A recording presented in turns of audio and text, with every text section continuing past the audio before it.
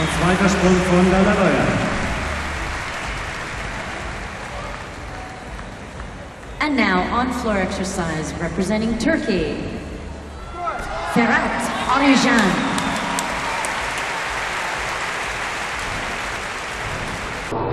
Arıcan.